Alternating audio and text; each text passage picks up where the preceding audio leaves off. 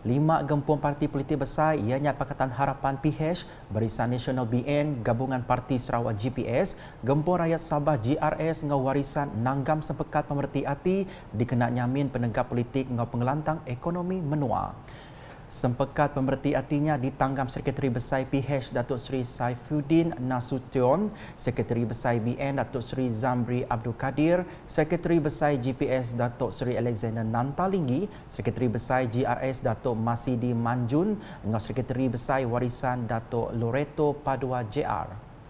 Pengawaknya sepekatnya di Kemata Kementeri Besar Tenaga Chairman PH Datuk Seri Anwar Ibrahim, Chairman BN Datuk Seri Ahmad Zahid Hamidi, Chairman GPS Tenaga Premier Sarawak Datuk Petinggi Tan Sri Dr. Abang Duraman Zohari Tun Datuk Abang Openg, Chairman GRS Datuk Seri Haji Ji Nor, Engau Presiden Warisan Datuk Seri Safi'i Abdal, Babagunan Perdana Putra Kuala Lumpur kena hari lima.